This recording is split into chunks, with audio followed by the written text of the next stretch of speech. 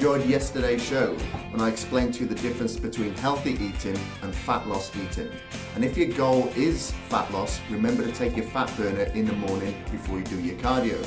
But today's a weight training day and we've got back, we've got biceps and calves. So make sure that you do your warm up and I'll see you at the gym. The first exercise that we're going to be doing for back is a row machine. So find yourself a row machine similar to the one in the picture. You're going to grab hold of a narrow handle with your legs slightly bent, keep your back straight. You're going to row the bar into your lower portion of your abs, squeeze in your shoulder blades together, and then you're going to release until you stretch out the shoulder blades. You're going to breathe out on the way in and breathe in on the way back down. Remember, this is just a warm-up set. So just do about 10 to 12 repetitions comfortably just to get the fluid into the joints and the blood into the muscles. Once you've done so, we're ready for the first set. So select a heavier weight on the stack, grab hold of the handles, sit back with your legs slightly bent, keep your back straight, and then row the bar into the lower portion of your abs. Remember, squeeze your shoulder blades together. You're working the middle portion of your back now, so this is how the muscles contract. Squeeze, and then you stretch them out. Squeeze, stretch out. Breathe out on the way in, breathe in on the way back down. Keep your back flat at all times and keep your head up. And you need to be reaching failure at around 10 to 12 repetitions. Once you've done so, do two more sets of this exercise and then we're ready to move on to T-bar rows.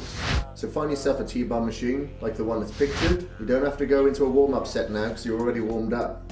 So put your front flat against the pad, take the bar off the support, and then start rowing the bar in towards your chest. Squeeze your shoulder blades together, and then stretch them out at the bottom of the movement. Once you've done one set, rest for around 45 seconds, then do two more sets, rest in between.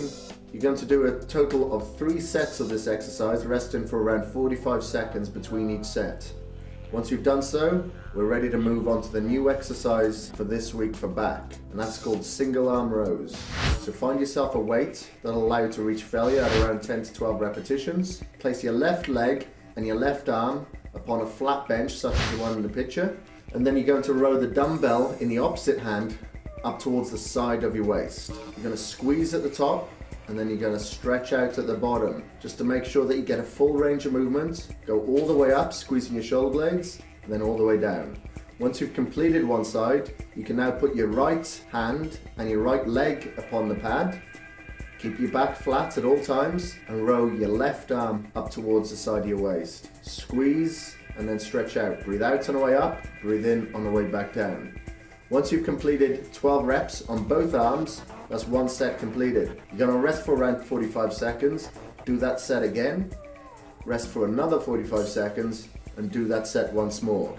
Once you've done so, back is finished and we're ready to move on to biceps. First exercise for biceps is concentration curls. This is an exercise that you did last week. You're going to sit on a bench. You're going to place the back of your arm against the inside of your leg like Jim is demonstrating here. You're going to curl up towards your chest and then back down getting a good stretch. You're just warming up now in this exercise, so do around 10 to 12 repetitions, that's comfortable. Once you've done one arm, you're gonna move on to the other arm. And once you've done that, you're ready to go into the first set.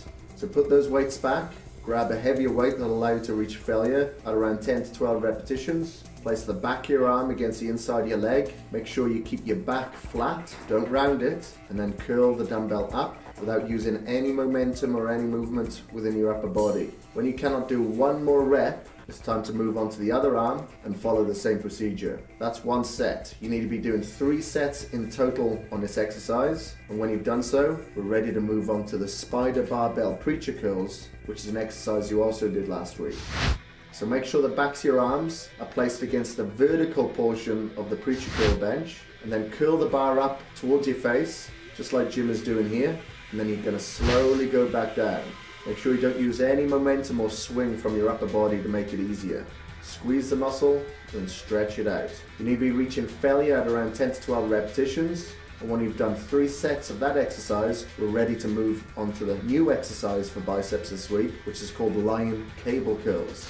So you can select the weight for your first set. You're going to lie down on a pad, grab hold of a cable that's on a low pulley, and then you're going to lie down and curl the weight up towards your chin and then you're going to release until your arms go straight down and then back up. You're going to breathe out on the way up and breathe in on the way back down.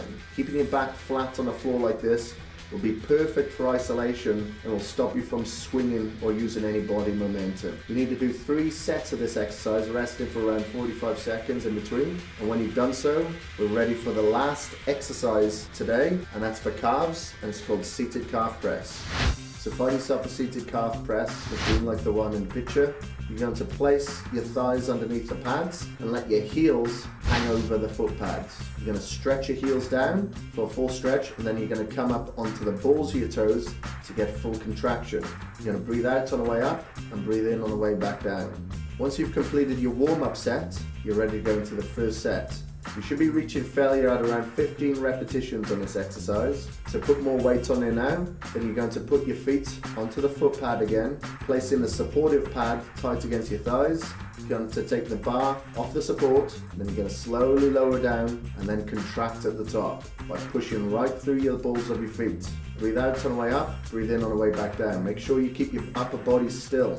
And once you reach failure of around 15 repetitions, that's it, we're done. So now you can go and cool down for 5 to 10 minutes, have your protein shake, and I'll see you back at the office. That was a great workout, wasn't it?